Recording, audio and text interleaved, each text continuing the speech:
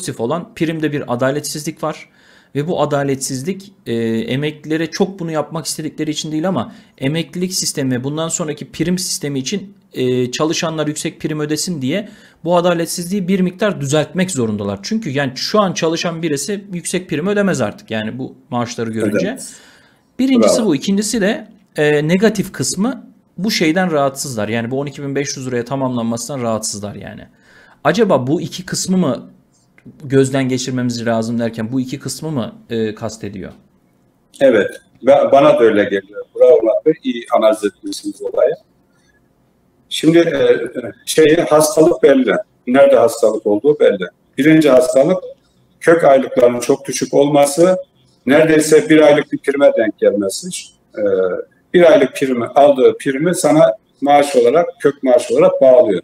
Böyle bir saçmalık olmaz. 25 yıllık prim, emekli 25 yıllık emekli primi ödeyen insana bir aylık prim karşılığı bir maaş bağlıyoruz. Burada zaten çok büyük bir e, şey var, çalma var. İnsanların emeğinden, hakkından çalma var. Birinci rahatsızlık hem bizdeki rahatsızlık hem de e,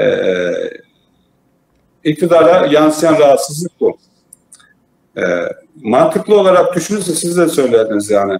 Madem ödediğimiz primler bir işe yaramıyor, Çalışan, mevcut sen şu de- anda çalışan kişi yüksek ödemez. Evet, Görüntü kimse yüksek ödemez yani. Sen Sosyal Güvenlik Kurumu'nun sürekli açığından bahsediyorsun. E, prim e, ödenmediğini, ya bu düşük prim de bir şeydir, açığa sebeptir.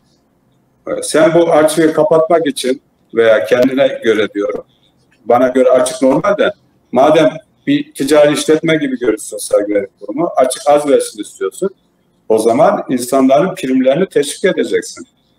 Ben niye ödeyeyim ya? Benim ödediğim prim şu anda ben asgari ücretten veya 30 bin lira üzerinden e, prim ödeyip, ödeyip de her ay emekli maaşım düşüyorsa niye ödeyeyim ben ya? Primlerimi benim değerli hale getir ki ben de uğraşayım işverenimi sıkıştırayım.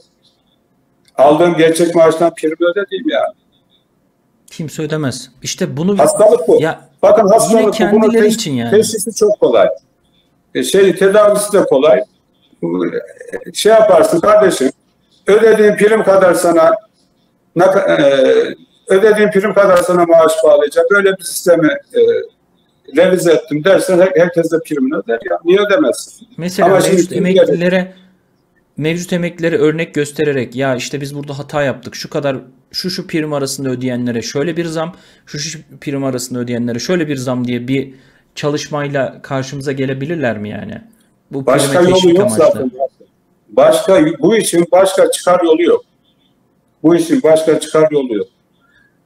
Ee, primleri Sosyal Güvenlik Kurumu'nu cazip hale getirmek istiyorsanız, insanların Tek yöntem Sosyal. Güvenlik Kurumu'na sıcak bakmasını istiyorsanız primlerin değerini vereceksiniz. Bunun başka bir şey yok. Başka bir çözümü yok yani. Sistemi ancak böyle güncelleyebilirsiniz. Yani burada bunu sağlayan bir şey de değerli izleyenler şu e, yine söylediğimiz gibi öyle bir şey ki birbirini yiyen bir sistem.